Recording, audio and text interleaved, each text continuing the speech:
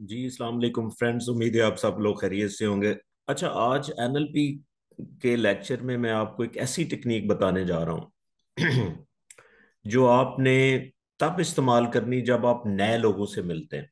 देखें जब भी आप नए लोगों से मिलते हैं, आपने अगर कम्युनिकेशन को अच्छा करना है तो उनके साथ ट्रस्ट डेवलप करना बहुत ज़रूरी है। और ट्रस्ट डेवलप करने के लिए उनको जानना बहुत ज़रूरी है, उनके स्कूल ऑफ़ थॉट को जानना बहुत ज़रूरी है।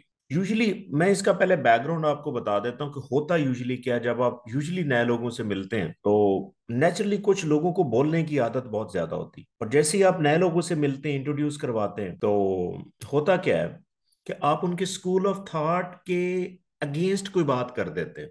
अब स्कूल ऑफ़ थॉट कई तरह के होते हैं। रिलीजियस स्कूल ऑफ़ थॉट हो सकता है कल्चरल स्कूल ऑफ़ थॉट हो सकता है पॉलिटिकल स्कूल ऑफ़ थॉट हो सकता है। कोई कई कोई भी स्कूल ऑफ़ थॉट हो सकता है हर बंदे के अपना स्कूल ऑफ़ थॉट होता है। और आपको पता है कि एनएलपी जो है हर बंदे के स्कूल ऑफ़ थॉट की रिस्पेक्ट करती। अगर आप रिस्पेक्ट नहीं करते तो आप कम्युनिकेशन परफॉर्म नहीं कर सकते। फॉर एग्ज़ाम्पल मैं ऐसे ही आ, मैं आपको पॉलिटिकल स्कूल ऑफ़ थॉट की मिसाल देता हूँ। फॉर एग्ज़ाम्पल आप एक किसी के मेहमान गए बहुत पहली दफ़ा आप गए या आपकी नई नई दोस्ती हुई या पहली दफ़ा उनके घर गए सपोज़ वो एक पॉलिटिकल पार्टी को पसंद करते हैं। आप जाके बैठे ही ड्राइंग रूम में, आपको पता है हमारी आदत क्या होती है? कोई काम की बात नहीं करनी, या पॉलिटिक्स पे बात करेंगे या खाने पे बात करेंगे, ठीक है? तो आपने फौरी जनाब कह दिया कि यार ये, पता नहीं, ये इमरान खान को क्या हुआ हुआ है? आपने जब ये बात कर दी ना, और वो फैमिली सपोज़ किसी और पार्टी को सपोर्ट कर रही थी नून लीग को सपोर्ट कर रही थी या पीपल्स पार्टी को सपोर्ट कर रही थी। कोई और पार्टी थी। आपको मैं बताता चलूँ कि जो हमारे पॉलिटिकल स्कूल ऑफ़ थॉट होते हैं या कल्चरल स्कूल ऑफ़ थॉट होते हैं या जो हमारे सोसाइटी के कुछ नॉर्म्स होते हैं, ये ज़्यादा स्ट्रांग होते हैं इवन हमारे रिलीजियस बिलीफ से ज़्यादा स्ट्रांग होते हैं। तो जब आप जाके बैठेंगे ना, आपने इतनी बात कर दी, वो आपसे ऑब्वियसली लड़ेंगे तो नहीं। लेकिन ये है कि ट्रस्ट डेवलप नहीं होगा। इवन आपकी रिस्पेक्ट में वहीं से एक डिफरेंस शुरू हो जाएगा। सपोज़ वहाँ पे जो आपके लिए फ़र्ज़ करें, कोई बहुत अच्छा खाना प्लान कर रहे थे तो आपके लिए वो रूटीन का खाना आ जाएगा। यहीं से आप नोट करना शुरू कर दे। तो ऐसे मौकों पे जब जैसे ही आपका एक नया नया कम्युनिकेशन प्रोसेस स्टार्ट होता है तो आपका पहला काम है ट्रस्ट डेवलप करना। और मैं आपको बताऊँ ट्रस्ट डेवलप करने के लिए ना सबसे इंपॉर्टेंट अगले बंदे के स्कूल ऑफ़ थॉट को हाईजैक करें कि उसका स्कूल ऑफ़ थॉट क्या है। मैं ये नहीं कह रहा कि आप अपना स्कूल ऑफ़ थॉट चेंज कर ले, बिल्कुल नहीं कह रहा। मैं ये कह रहा हूँ कि अगले के स्कूल ऑफ़ थॉट का आपको पता होगा ना एटलीस्ट आप उसके अगेंस्ट बात नहीं करेंगे।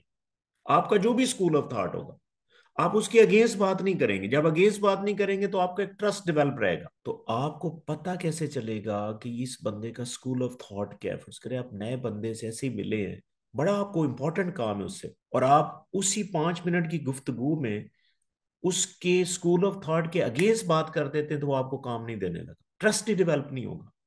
तो फिर आपको पता कैसे चलेगा कि अगले बंदे का स्कूल ऑफ़ थॉट क्या चाहे वो रिलीजियस स्कूल ऑफ़ थॉट हो, चाहे पोलिटिकल हो, चाहे कल्चरल हो, कोई भी हो, आपको पता कैसे चलेगा?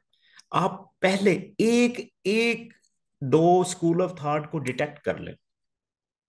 ताकि देखें समटाइम हम बात कोई कर रहे होते हैं।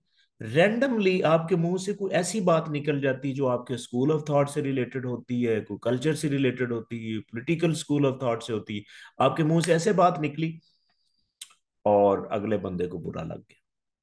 ठीक है? तो आपको पता कैसे चलाना इसके लिए कि एनएलपी की एक टेक्निक आपको मैं बताता हूँ, जिसे हम एनएलपी डिस्टोर्शन कहते हैं।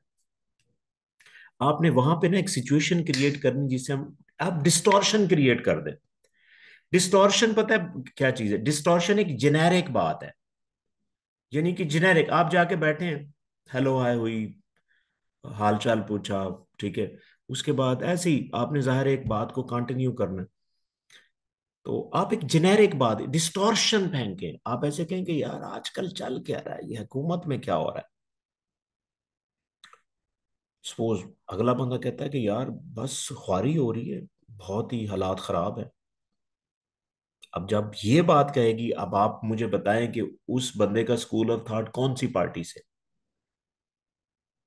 एटलीस्ट अगर आपकी भी वही पार्टी है तो मज़ा आ जाएगा। अगर नहीं है तो at least you will understand and you will respect the other person of school of thought और आप अपनी कम्युनिकेशन में एटलीस्ट उसके अगेंस्ट कोई बात नहीं करें। तो आपका एक ट्रस्ट डेवलप रहेगा, ठीक है? इवन बाद में उसको पता भी चल जाता है कि आपकी जो पार्टी है, वो जो हम पार्टी पसंद करते हैं, वो आपकी नहीं है। तो उसको अगर पता भी चल जाता है, लेकिन वो वो इतना खफा नहीं होगा, क्योंकि हमारे, आप देखें ना, आपके कई दोस्त होंगे जो डिफरेंट स्कूल ऑफ़ थॉट्स हैं, लेकिन आप रिस्पेक्ट करते हैं। लेकिन क्योंकि एक दफ़ा ट्रस्ट जब डेवलप हो जाता है जब आपको पता भी चल जाए तो फिर आपको कोई इशू नहीं होता। एक ट्रस्ट डेवलप करना बहुत ज़रूरी होता है। तो आप शुरू से डिस्टॉर्शन फेंके। डिस्टॉर्शन इतनी इतनी हाँ डिस्टॉर्शन फेंकते हुए बिल्कुल क्लैरिटी नहीं होनी चाहिए। वेग वेग इंफॉर्मेशन आपने देनी है। फॉर एग्ज़ाम्पल आप किसी के घर चल, घर चले गए ऐसे जाके बैठे। मैं आपको बड़े काम की टिप्स दे रहा हूँ। घर जाके बैठे हैं ना तो सर जी आप को टेलीविज़न तो लगाएँ न्यूज़ देखते हैं क्या चल रहा है। टेलीविज़न तो लगाएँ यूजुअली जब वो टेलीविज़न लगाएँगे, वो उनका अपना फेवरेट चैनल ही लगाएँगे। उनको लगाने दें। फॉर एग्ज़ाम्पल कोई फेवरेट चैनल जो भी उनका वो लगाते हैं। आपको पता है कि डिफरेंट पाकिस्तान के अंदर टीवी चैनल चैनल्स की ना इंक्लिनेशन होती है, खास पॉलिटिकल पार्टी से, या थोड़ा बहुत वो फेवर चल रही होती है, आपको भी पता है। फॉर एग्ज़ाम्पल उन्होंने जनाब ए आर वाई लगा दिया। समझ जाए थोड़ा सा? बोल लगा दिया, समझ जाए। जियो लगाया, समझ जाए। आपको एक आइडिया हो गया कि भाई ये इंक्लिनेशन किधर जा रही है? तो आपने डिस्टॉर्शन दी, डिस्टॉर्शन। ये नहीं कि आप खुद टीवी ऑन करें और आप खुद कोई खास चैनल लगाएँ, हो सकता है उनको अच्छा ना लगे। वो समझ जाएँगे। आपने अन डिस्टॉर्शन जो है वो अनकॉन्शियस डिस्टॉर्शन देनी उनको पता ही नहीं चले आप किस एंगल पे ये बात कर रहे हाँ। अगर आप इतनी क्लैरिटी से कोई बात पूछेंगे तो वो ज़ाहिर है उनको तो वो उनका जो कॉन्शियस माइंड है वो उसको रेजिस्ट करता है। इसको हम डिस्टॉर्शन कहते हैं। इसी तरह आप अक्सर किसी के घर चले जाते हैं तो आप ऐसी कोई रिलीजन किसी खास सेक्ट के ऊपर बात करना शुरू कर देते और बात करते करते उस सेक्ट के हवाले से ऐसी ही कोई बुरी बात मुँह से निकल जाती है। हमारी आदत है, आपको पता तो अगला जो अगली जो फैमिली है, ज़ाहिर है उसके लिए एक बड़ा, एक अजीब सी सिचुएशन होगी आपके लिए कि आप उसकी, आप उनको, आप उनके एज ए गेस्ट भी गए हुए हैं, लेकिन उसके बावजूद भी आपने कोई ऐसी बात कर दी। तो एटलीस्ट आपको नहीं पता। पहली बात एक मैं आपको काम की बात बताऊँ, नए बंदे से मिलने मिलने, जब आप मिलते हैं ना, आपकी कम से कम कोशिश हो कि आप कम्युनिकेट करें। ठीक है? Let the other person tell you something वो खुद, जो कुछ ब... जब मीन वाइल आप ये असेस कर लेंगे, वो उसका स्कूल ऑफ़ थॉट किस साइड पे है? चाहे वो पोलिटिकल स्कूल ऑफ़ थॉट है रिलीजियस स्कूल ऑफ़ थॉट है तो अगर आप उसको पहले ज़्यादा मौका दें तो ये भी एक टिप हो सकती है। लेकिन अगर आपको इंफॉर्मेशन नहीं मिल रही then you can use NLP distortion technique आप ऐसे जेनेरिक एक वेग इंफॉर्मेशन दें।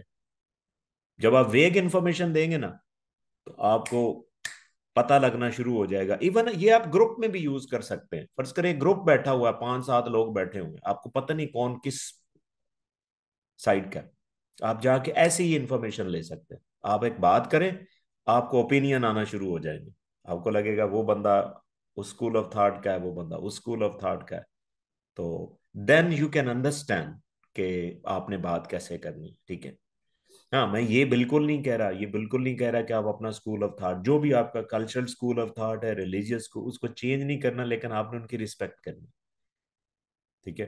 तो आप इस टेक्निक को यूज़ करें, इंशाल्लाह आपकी कम्युनिकेशन बहुत इफ़ेक्टिव होगी और अगले बंदे के साथ ट्रस्ट डेवलप हाँ ट्रस्ट जब तक डेवलप नहीं होता, आपकी कम्युनिकेशन आगे बढ़ती नहीं। आप निगोशिएट नहीं कर सकते, आप लंबी बात नहीं कर सकते, ठीक है?